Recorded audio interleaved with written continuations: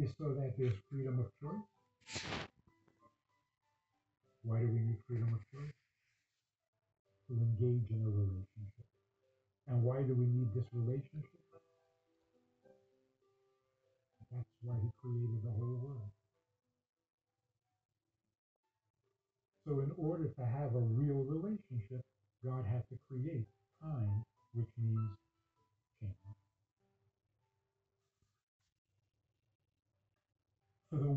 itself, change is not a good thing.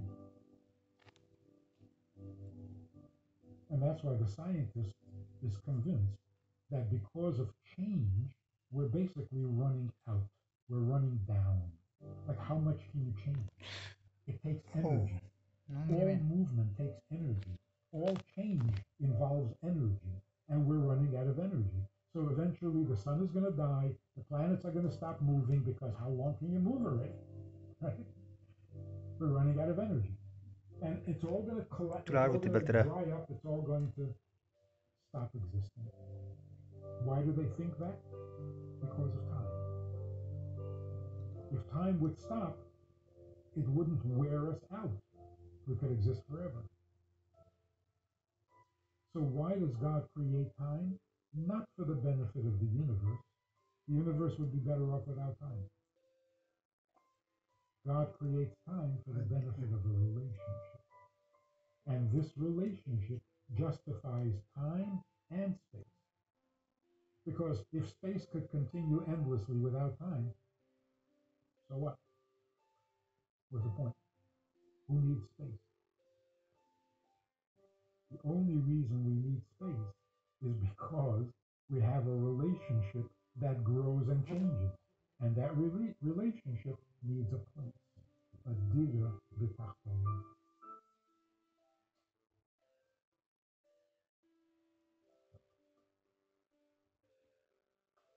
Any questions left to be answered? now the question is, what time is it? Huh? Overtime. But that's the question, Ayeka. When God asks Adam, Ayeka, he's saying, what time is it? What have you changed so far?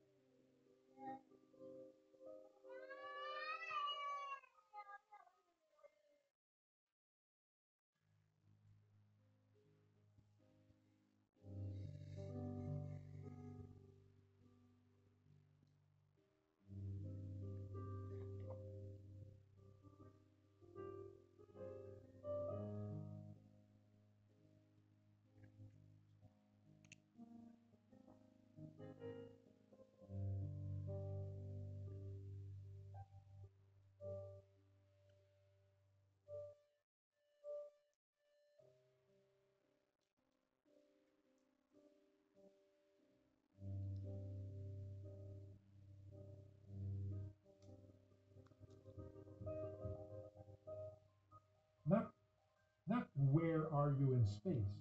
Where are you in time? Because where he was in space, God knew. I mean, he was talking to him.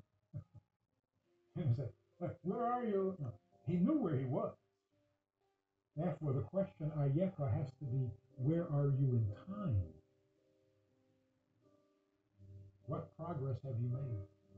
What change have you brought? Positive or negative?